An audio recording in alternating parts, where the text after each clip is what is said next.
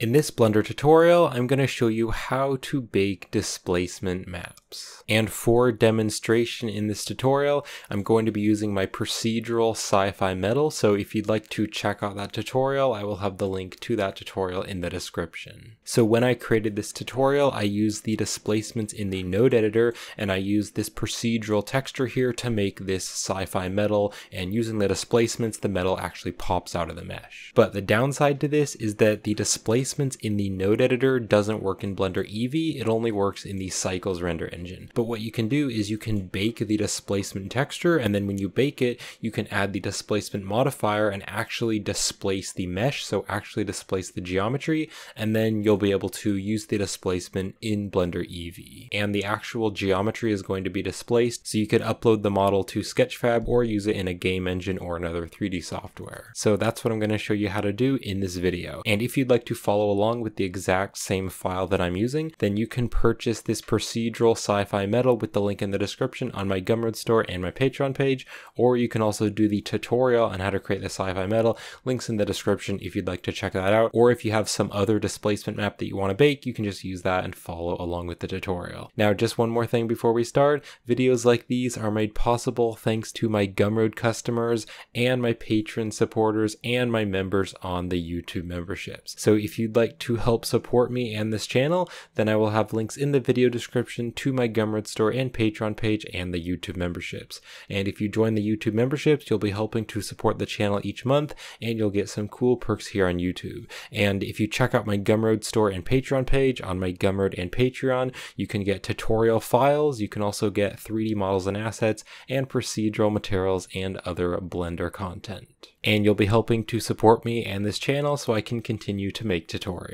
Alright, so here is the finished tutorial files of the sci-fi metal. So what I'm going to do first real quick is just select this plane here and I will delete it. And I'm also going to select the camera and delete it. And I'm just going to focus on this object because this object is what I'm going to be baking the texture for. And then I'm also going to hit Alt R to clear any rotation values just to rotate the cube back. Alright, now as I said before, this object is being displaced using this displacement right here in the node editor, and it's being displaced using this texture. Now to preview this texture, I'm going to be using the Node Wrangler add-on. So if you don't have the Node Wrangler add-on enabled, you can just click right here on edit, and then you can open up the preferences, and then just click over on the add-ons tab, and you can go to the search there and just search for the Node Wrangler add-on, and then just checkmark the Node Wrangler add-on, and then I'll show you how to use it right now. Alright, so once you have the Node Wrangler add-on enabled, you can hold down the control and shift key and then you can select different nodes. So when you hold down the control and shift key and select different nodes, that is going to preview the node. You can see what it's going to do is add this viewer node right here and then it's going to plug the viewer into whatever node you select and then you'll actually be able to preview what that node looks like on the object. So I'm just going to control shift and select this color ramp right here and you can see this is the displacement texture. So it's using this black and white data to tell it how much the mesh is going to be bumped out. And so this is the texture that we want to texture bake. So to start off, let's go over here to the render properties. And when you are baking textures, the render engine needs to be set to cycles. Eevee doesn't support baking, so if you are in Eevee, just make sure you switch to cycles. After you're done with the baking, you can switch back to Eevee if you want to, but just make sure you're in cycles for now for the baking. And then also I'm going to open up the sampling. And if you have more render samples, then it's going to take longer to bake. So it kind of uses the sampling to bake the textures, but I found that you really don't need that many samples. It really doesn't affect the quality. So I'm just going to turn these samples here, the render samples, just to like a 10, and that way it'll bake much faster, but the quality will look the same. All right, so then if you are in the Cycles render engine, you're going to see this baking tab right here. So I'm just going to open this up and we have some different bake settings. So right here, you can see that there is a bake type. Now, if you click on this, it's going to show you different things that you can bake. But if you look closely, you can see that there actually isn't any displacement. There's like the roughness one, there's the normal, but there isn't actually any displacement. And so what I'm going to use instead, instead of using a displacement, because there isn't one,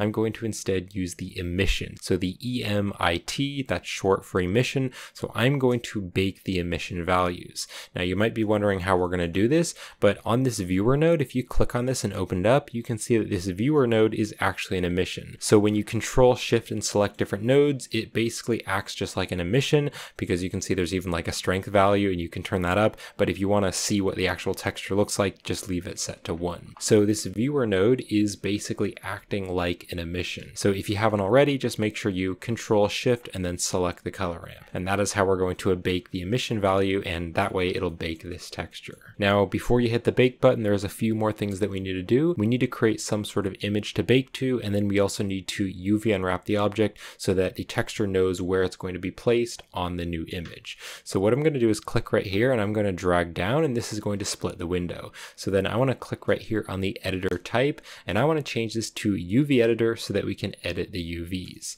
So now what I want to do is press tab right here in the 3D space and that's going to go into edit mode. All right, so now what we need to do is we need to create an image to bake to. So I'm going to press shift A right here in the shader editor and I'm going to go to the search here and I'm going to search for an image texture. So let's just click on the image texture and I can drop it down here. So now we need to click on new to create a new image texture. So I'm going to click on new and I can just rename this like displacement. Now on the width and height here, I want to use a 4K texture. So what I'm going to do is click and then drag down and then let go. And that way we can change both of the values at the same time. And I'm going to hit the backspace. And then for a 4K texture, I'm going to type in 4096. So that is pretty standard for a 4K texture. I'll just click right here and then that'll confirm it. So you can set this to whatever you want. I'm going to be using a 4K texture because I do want it to be pretty high quality. And then we're going to be baking over the color, so it doesn't really matter. I'm just going to leave it to black and then you can click on OK. Now there is one really important thing you do here before you actually bake it. The color space right here, you need to click on this and you need to set it to non-color. Now why we're doing this is is because this is a displacement map, so it's not actually contributing to the base color. This right here, this is the base color because this color ramp is going into the base color on the principled, but this displacement map, it's only going to be going into the displacement, and so it's not actually contributing to the base color. And so because of that, we want to set this to non-color. And it is important that you set this to non-color before you actually bake the texture. All right, so there's just one more thing that we need to do. We need to actually UV unwrap this object onto this new texture that we created. And this is why I brought up the UV editor. So right here in the UV editor, I'm just going to click right here and I want to go to our new texture that we made with the which is called displacement. So this displacement texture that we made right here, it is now right here. So now I want to UV unwrap this object. So you may need to UV unwrap your object differently depending on what it is. For this object, I'm just going to press U with my mouse hovered over the 3D space.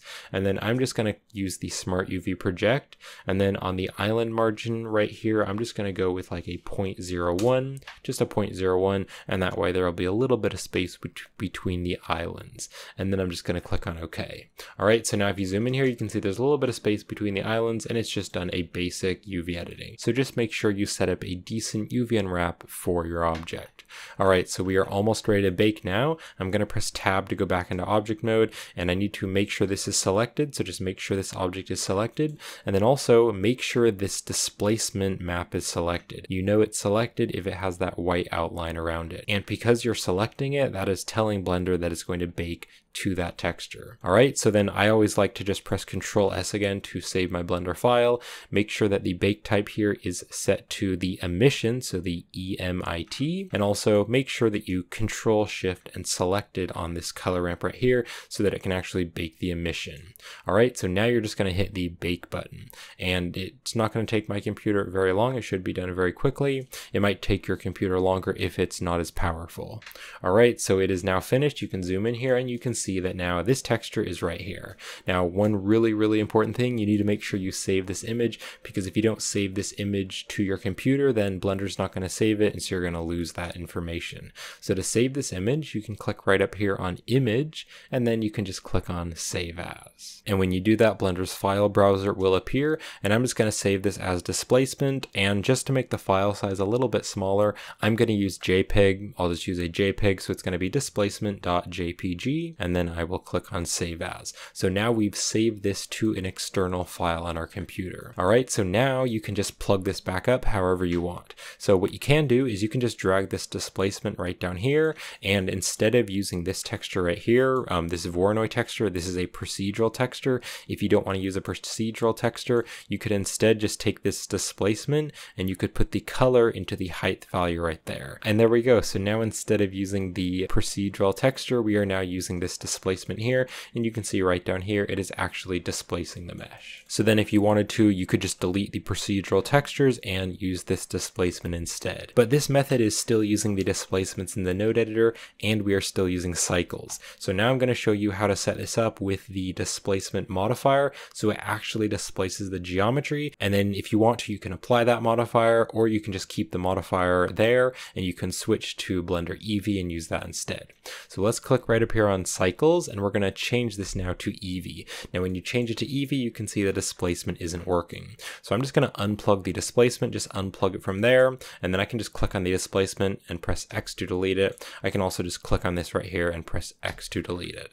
And then also I'm just going to control shift and select the principled BSDF to preview the final material. So there is the final material, but it doesn't have the displacement. So to set up the displacement for Eevee, I'm just going to click right over here to the modifier properties, and you can see this already has a subdivision surface, and why I added the subdivision surface is so that the displacement actually had a lot of data to work with. So by using the subdivision surface, it's making the object higher topology so that there is more topology to actually move around with the displacement. So I want this to be a very high quality displacement. I want it to look very high quality. So right here on the subdivision surface modifier, I'm going to turn these all the way up, the viewport and the render up to like four. And if you don't have a subdivision surface modifier, you can just click on add modifier and you can add the subdivision surface. So now you can see this object is very smooth. And if I press tab to go into edit mode on this object, you can see it already is somewhat subdivided, but I want to use the subdivision surface to subdivide it even more. And also one thing I did want to mention, the subdivision surface will actually change the shape of the mesh. It'll kind of smooth it out. So what you could do if you don't want that smoothing there on the sides is you could change it to simple instead of the Catmull Clark. And that way it's still going to keep its own shape. It's going to keep the shape, but it will be more subdivided. I actually like that round edge for an object like this. I like that round edge. So I'm going to change this back to Catmull Clark, but you could use simple if you want to. All right, so we now need to add the displacement modifier to actually displace the mesh. So we're going to click on add modifier, and then we're going to go right down here under deform and add the displace modifier. All right, so you can see it doesn't really do anything other than just make it look really thick. And so we need to add a new texture right here in the displacement. So I'm going to click on new to add a new texture, and then we want to load in this texture. So to do this, I'm going to click right over here on these buttons, and this is going to take me over to the texturing tab, which is right down here. Now you could add in like some sort of procedural texture, but I don't want to do that. I want this to be set to image or movie so we can add in the image that we actually baked. Now you could click on the open button and open up the texture. So just click on the open button and it's going to take you to the file browser and you can just select this texture wherever you saved it. But you can see that this has already been loaded inside the blend file. So instead of clicking on open, I can just click right here on the drop down and you can see there is the displacement. So I'm just going to add in the displacement. All right, now you can see it's doing something, but it's really messed up. It's not actually positioned correctly on the object and it's also way too strong. So we need to go back over here. So click back over here on the modifier properties and we need to change some of the settings. So you can see that it's not actually placed correctly on the mesh and that is because on the coordinates here right now we are just using the local coordinates but instead I want to use the UV because the UV is how we UV unwrap this texture onto the object. So on the coordinates here we want to choose UV and now you can see that is looking much better and that is actually looking really cool. Now it is way too strong though it's like super super strong so I've found that a strength value of just like 0.1 works much better but you can really just play around with the strength value and get it to whatever strength you want. I am just going to go with 0.1. Now there is one more setting you could change. You could change the mid-level. So it's kind of just going to depend on your object. But I find that for this object, I like turning the mid-level all the way to zero. That just looks a little bit better. It's a little bit more round and I do like that better. And then I can hold down the Z button and go up into the rendered view. And you can see we are now in Blender Eevee, but we are using that displacement texture. So it is actually displacing the mesh and that is super cool. Now, if you press the tab key to go into edit mode, you can see that the actual geometry still isn't really displaced. It's not actually stuck in that position because this is still just a modifier. So you could keep this how it is if you want to, but what you could do if you want this to be actual geometry is you could just apply the modifiers. So this is pretty high quality. Um, setting it to four is pretty high detail. So if you wanted to, you could just like turn the levels viewport and render down to like three or something, but you can see that's a little bit low quality. So I'm actually going to set it back up to four on the viewport and the render. So now you could just click on the drop down and you can just click on apply to apply both of the modifiers. Um, make sure you apply the subsurf first and then also click right here on the drop down and you can click on apply. So now if you press tab to go into edit mode, you can see that this is actual geometry. So that is really cool. So we have now turned our procedural displacement into actual geometry. Now, one problem with this is that it is super high quality. This is a very, very, very dense mesh. And so this isn't going to work in like a game engine or something like that. And it is just harder to work with because it is so dense. So there are a few things you could do to fix this. One thing that you could do is you could manually retopologize the mesh. You could also use some sort of program that will retopologize it for you, or there are also some Blender add-ons which will do retopology for you. But there is also a quick and dirty method that I'm going to show you real quick on how to lower the topology. So what you can do is just select this object and we are going to click on add modifier and then right down here under generate you can add the decimate modifier. So what the decimate modifier does is it will remove more and more of the geometry but it will do the best job it can to keep the object shape. So right here on the ratio you can turn this down and it's going to remove the topology. So I'm going to turn this down to like a 0.3 so that's going to remove a lot of the topology and you can see it is taking a little while to load up but you can see now it's removed a lot of the topology. If you zoom in here, you can see there is just like a little bit of stretching here and there. So if you don't like that, you could turn the ratio back up, but that has now removed a lot of the topology. So then right here on the decimate modifier, you could just click right here on the drop down and then just click on apply. And then again, it might just take a moment to apply and it just So now that that is applied, you can tab to go into edit mode and you can see that is much more manageable. Now the topology is terrible. That's really not the best topology because everything is in triangles, but that is a quick and dirty method to just lower the topology. And as you can see, the object looks pretty much the same. So I hope you found this tutorial helpful and thank you so much for watching. And again, if you'd like to watch the tutorial on how to create this sci-fi metal, I will have the link in the video description. And you can also purchase the project files for this sci-fi metal on my Gumroad store. And you also get access to all of my procedural materials if you join my Patreon page. And checking out my Gumroad store and Patreon page are really great ways to help support me and this channel. And if you'd like to help support the channel monthly here on YouTube, you can also check out the YouTube memberships. So if you click on that join button down there next to the subscribe button, if you join my memberships, then you'll get some cool perks here on YouTube and you'll be helping to support me each month. So I do really appreciate your support. But I hope this video was helpful and thank you for watching.